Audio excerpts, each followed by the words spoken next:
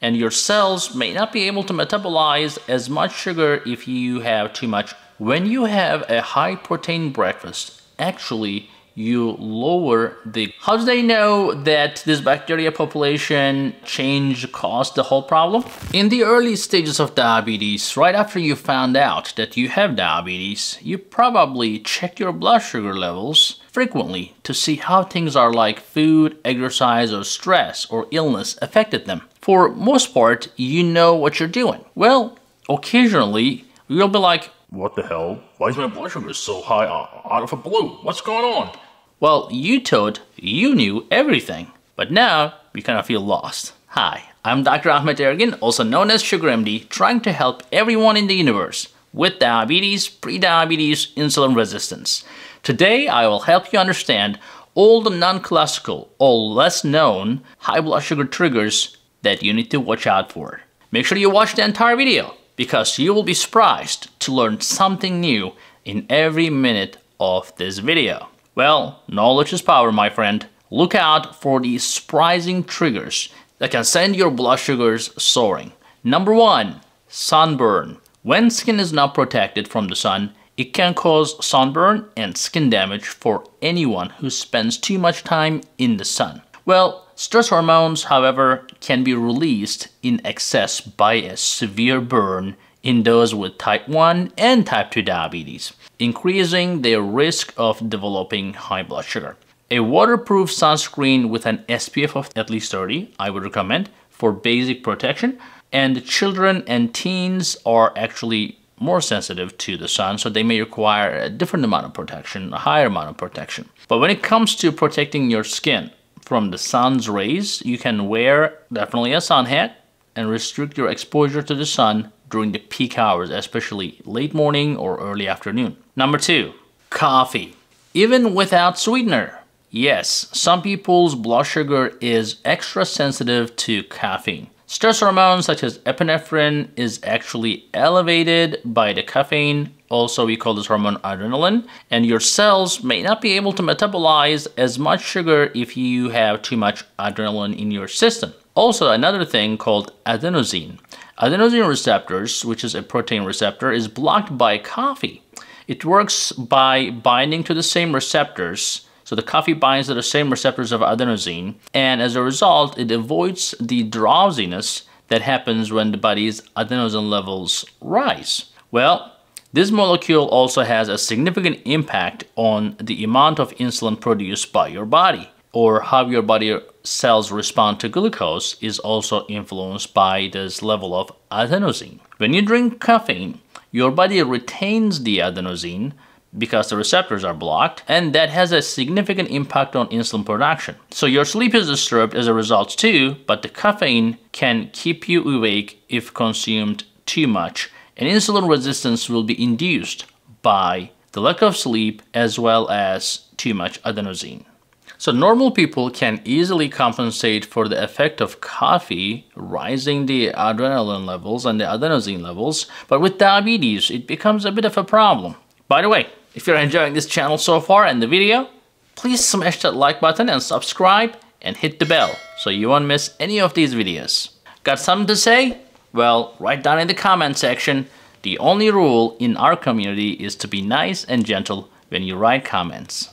Number three, well, the sleep. We just talked about this. Even just one night of too little sleep can make your body use insulin less efficiently. Sleep loss causes an increase in the cortisol, which in turn raises your glucose levels. Sleep loss affects insulin sensitivity greatly, which in turn affects your blood glucose levels. And that happens very quickly, even with one night of lack of sleep. Cortisol levels are influenced by that person that not sleeping well or even time off the sleep is very important.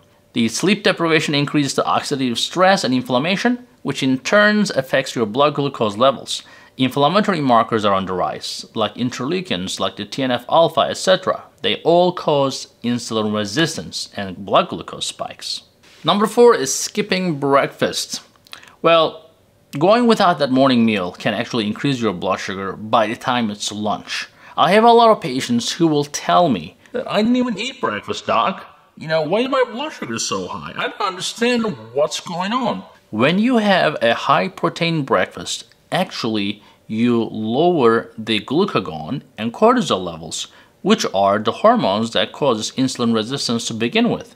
So if you eat breakfast, those insulin resistance hormones will go down. They are the same hormones that causes your blood sugar starting from 5 a.m., which is called dawn phenomenon. Having a breakfast literally calms them down. I don't mean you go have cereal and pancakes for breakfast because that will defeat the purpose, but a high protein breakfast can definitely help your blood sugars. I just said dawn phenomenon and some of you probably said, what is that? Well, dawn phenomenon is number five here and some people, uh, most people actually, have a surge in those hormones we discussed about, like the cortisol, the adrenaline, the glucagon. And people with diabetes, unfortunately, blood sugar can spike quite a bit because of these hormones, especially in the morning. Again, the adrenaline, the cortisol, even the growth hormone and the glucagon, they're all released into the bloodstream in a very high rate right around 5 o'clock in the morning. Blood sugar levels rise as a result of these hormones, causing the liver to release a lot of glycogen, which is converted to glucose.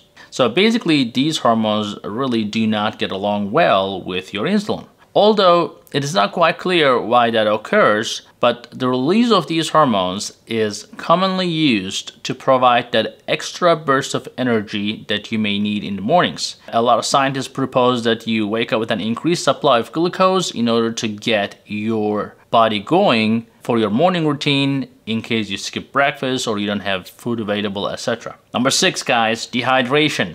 Yes, less water in your body means a higher blood sugar concentration. while drinking water does not necessarily work like a medicine. So if your blood sugar is high and you're hydrated, you're not dehydrated, drinking more water is not going to help you. But if you're dehydrated, that actually can make your blood sugars go worse. So don't become dehydrated because your kidneys rely on water to wash things up and to get rid of these high blood sugars. Well, number seven, that's a little surprising, is your nose sprays for your cold. Well, some have chemicals that trigger your liver to make more blood sugar. Nasal sprays, for example, commonly contain epinephrine, the same hormone that your body makes in the morning that causes high blood sugar, so you're doing it to yourself this time. Phenylephrine, the pseudoephedrine, etc. These are cold medications that are typically taken orally, but the sprays contain the same things as well. And sometimes those same sprays have steroids like Flonase, for example, for allergies, can definitely spike your blood sugars. And most of you know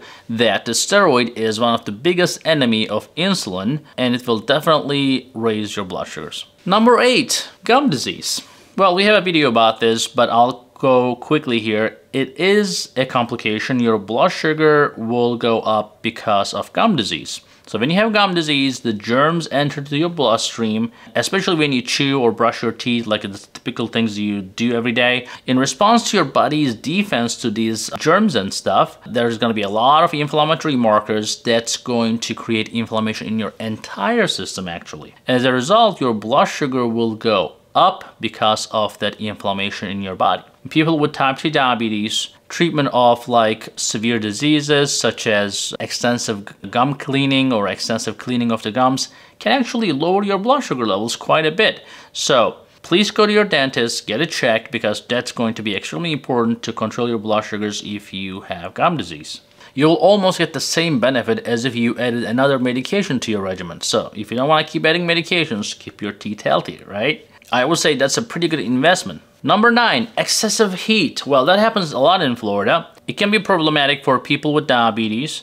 Blood glucose levels actually are affected by the exposure to high temperatures. So people with diabetes are more likely to become dehydrated, that's number one, uh, especially if they're exposed to high temperature and high humidity, and if they engage in moderate to high amounts of physical activity in that heat. So no wonder while your blood sugar may be high on those days that you may be working in your garden or, or backyard under the sun, and then you have no idea what's going on. Type 1 and type 2 diabetics are more sensitive to heat than those without the disease because a number of diabetes issues. So number one, there is damage to the blood vessels and the nerves in diabetes that can impact your ability to sweat. So making it difficult for your body to cool itself. And heat exhaustion is real and heat stroke can even happen both of which are like life-threatening conditions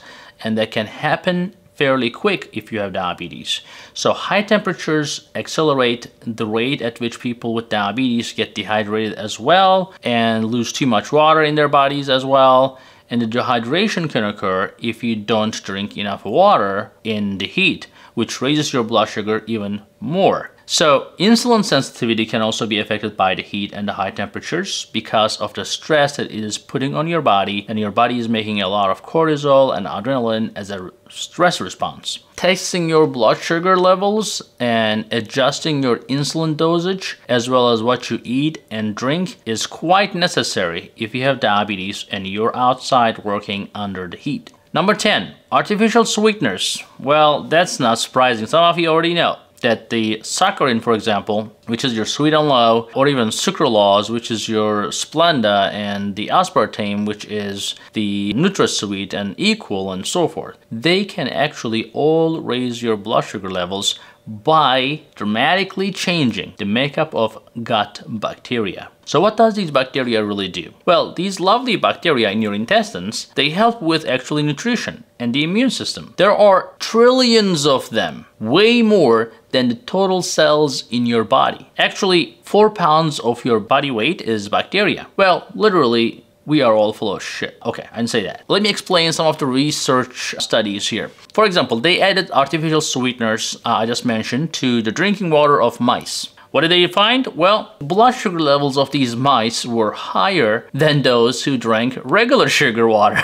so, like consuming artificial sweeteners were actually worse for these mice, the poor mice, for their blood sugar levels. Also, it did not matter if they were on a low-fat or high-fat diet, no matter what, the sugar went up after these artificial sweeteners and, and the blood sugars went up. Now, these are mice, right? So we are not, we are humans. How does this relate to us in terms of how much sweetener we can consume? Well, they calculated that the mice was fed artificial sweeteners they took in a daily amount equivalent to what humans get in about 4 cans of diet soda. So now you can have an understanding. Artificial sweeteners, I'm not talking about stevia or sugar alcohols, but they can also change the microorganisms in the gut that yet to be found out. We still don't know, so they're still a little bit safer than the other ones. How do they know that this bacteria population change caused the whole problem? Well, because after sweetener-fed mice were given antibiotics to basically kill their gut bacteria, the blood sugar levels returned to normal. So obviously, we generated a lot of bad bacteria by giving the Splenda to these poor animals. They took it to the next level and they transferred the feces from the mice that actually drank the artificial sweetener water and they gave it to the mice who never had. Well, after that stool transplant, the poor mice who never even enjoyed that Splenda ended up with a high blood sugar because they got the poop in their gut.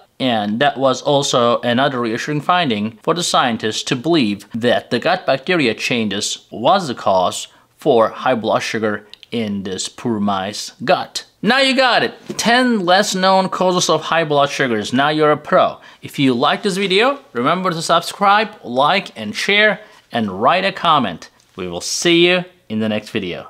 Stay happy, stay healthy. Hey guys, I hope you're enjoying this channel so far and I hope you subscribed already. If you didn't, do it. And if you did, watch this video right there. I think that will help you too.